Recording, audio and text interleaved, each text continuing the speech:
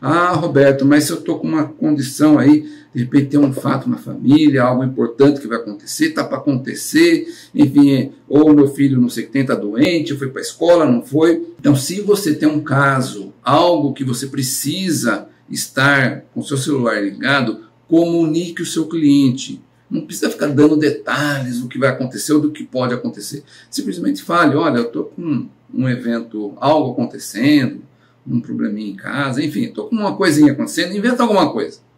Fala alguma coisa, mas que seja, tenha o seu fundo de verdade.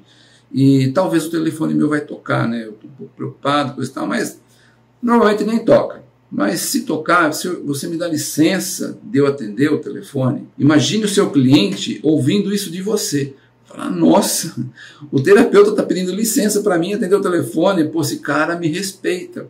E tudo que o seu cliente quer é respeito.